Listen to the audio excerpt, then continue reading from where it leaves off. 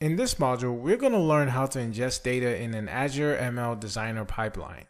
We'll do this by going through the ingest options in the designer. We'll also get an understanding of the different dataset types, as well as learning how to connect to these data sources. Let's talk about working with data in Azure Machine Learning Studio. Although our focus is on Azure Machine Learning Designer, in order to use the data inside of your Azure Machine Learning Designer, you have to first register it inside of the Azure Machine Learning Studio. So let's take a look at the list of options you have to connect your data to Azure Machine Learning Studio. First option we have is to connect locally by uploading directly to your Azure Machine Learning Studio. So this could be from your desktop. You can also upload a web file. An example of this would be uploading directly from GitHub.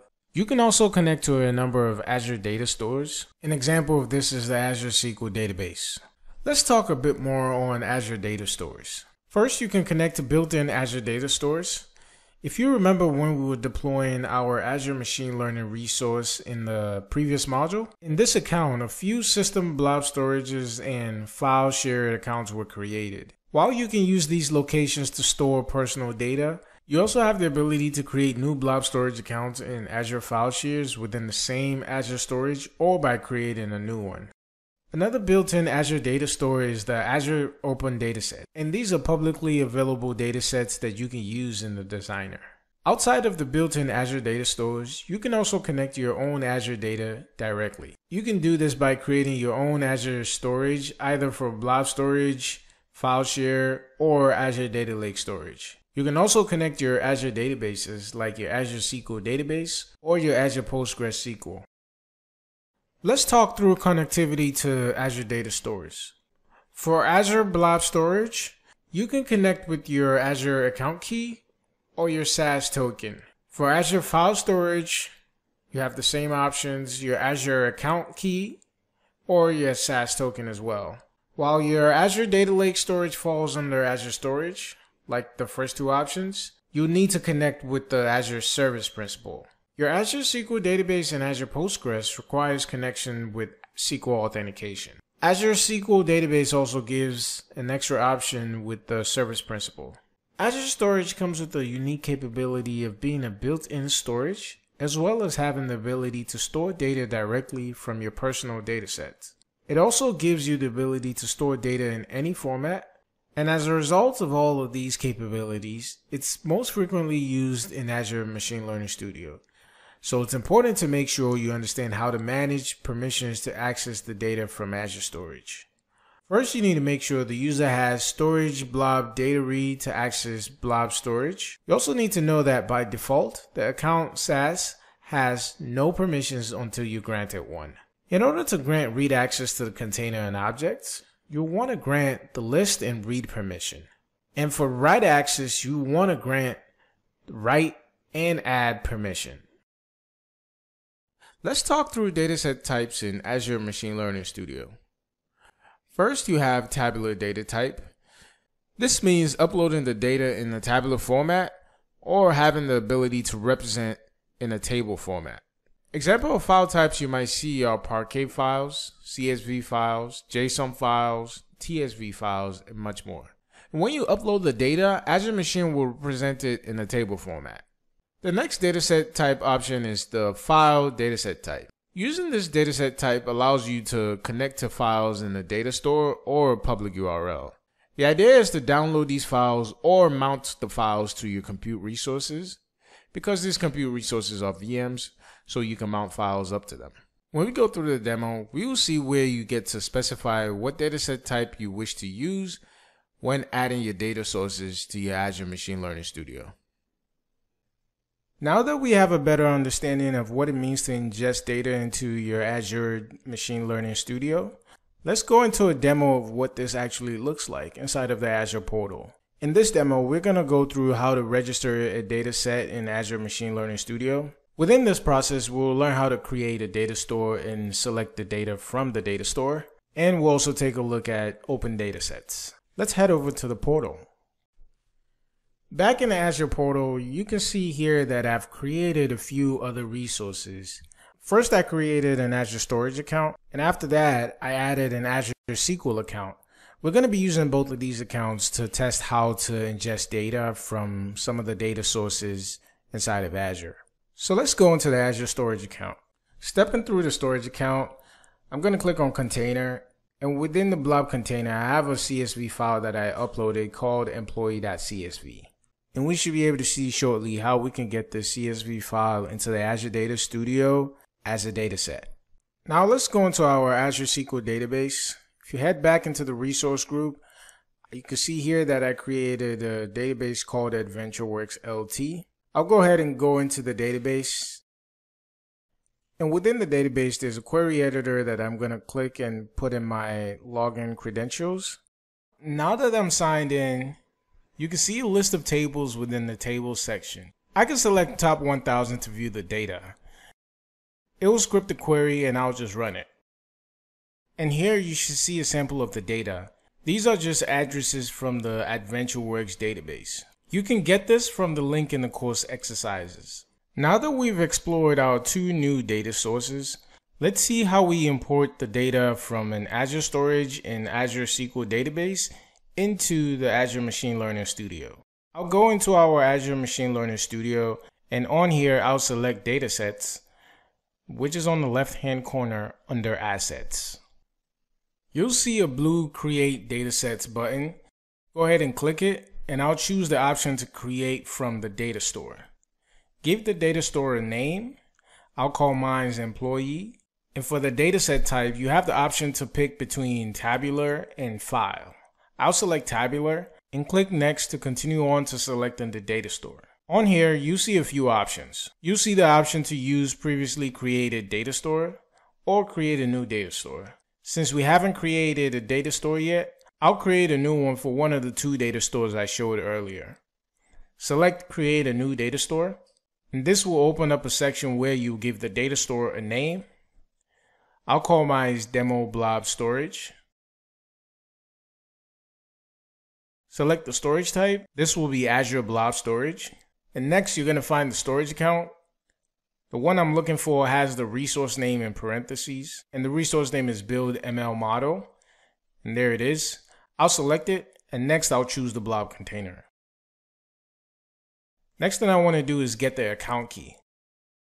To do this, I'll grab the account key from the Azure Storage resource back in the Azure portal. So let's flip back into the Azure portal and we can see here I still have the SQL query I ran last time. So what I'm going to do is exit out of it by selecting the resource group in the top left hand corner. You might get a prompt about unsaved work, but just go ahead and press OK to disregard that. Now in the resource group, select the storage account and on here, choose the access key on the left hand side and press show key and copy one of the two keys you see here. I'll go ahead and choose key one, grab it and let's flip back into the Azure Machine Learning Studio and paste it there. Once you've done this, you can press create data store. Now that we've specified the data store, we can select the file we want in a blob container. You can choose a file or multiple files by selecting the browse button and select the files you need. I'll choose the employees.csv file and press next.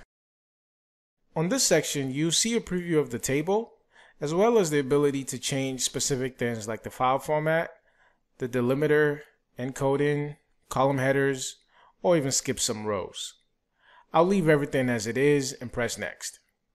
This will take me to the schema where I can change the data type from integer to string or date or any others. As you might have noticed, the ingestion process is good at detecting details from the data. The last section will be the overview, and at this point, I'll press create. The ingestion process is pretty quick. And you can see there is a registered dataset called employee. Go ahead and click on it and you see some quick data details about the dataset. I usually like to go to the explore page to make sure the data is right. And as you can see, it is. Now let's do this for the second dataset, which is the Azure SQL database. To do this, we'll flip back into the Dataset tab, which is on the top left-hand corner. And on this page, select Create Dataset, and we will create from the data store like we did before.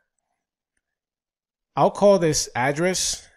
I'll use Tabular as the dataset, and press next. On the data store tab, we will create a data store like we did before, except this time we will select Azure SQL Database. I'll call the data store demo Azure SQL Database. And I'll look through multiple databases I have and find the one that has the same resource group in parentheses. Here it is. The authentication type for this will be SQL authentication and I'll put in my credentials. Once I'm done, I'll press create data store. Now we have a section different from the blob storage. And because this is a SQL database, we'll put in a SQL query to grab what we want from the database. I'll write a statement to pull in one of the tables called address and then press next.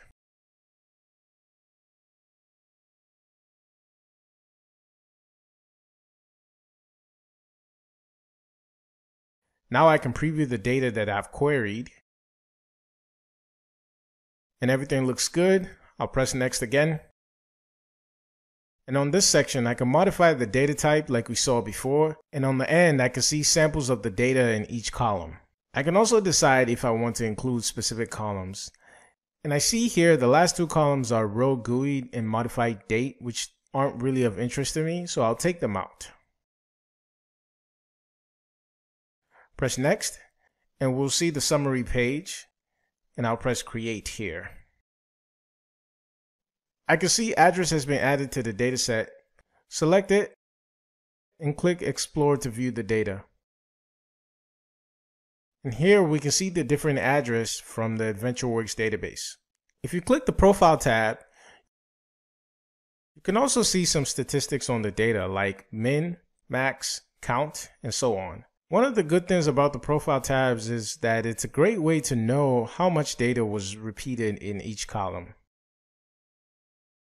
Back to the details tab, you can view different versions of the data, add tags, and even copy the SQL query. Now that we've added both of the data sources to create the dataset, where can we see the list of data sources to keep track of them? You can do this by selecting the data store under manage. Under here, you can see the two data stores we added. You can also see the pre-built data stores from when we deployed our Azure Studio environment in the last module. One last piece I'd like to show here is another dataset option, and this is the open datasets. If we flip back into the datasets and press the new data store button, we will see the open datasets option. And here we will see different open datasets, and these are public data readily available here in Azure Machine Learning. All you have to do is pull it into your data section. Let's grab one of them to see how it works. I'll choose the Boston Safety data. I'll give it a name, I'll call it Boss Data. And for some of these open datasets options, you need to filter down to the time period. I'll choose between 2010 and 2020, and then I'll press create. And now we've pulled in the open dataset. To wrap up this module, let's take a look at what we've done so far. We went over the ingestion options inside of Azure Machine Learning Designer. We got an understanding of what dataset types are, and we were able to register some datasets inside of Azure Machine Learning Studio. These include datasets like Azure Blob Storage as well as the Azure SQL database.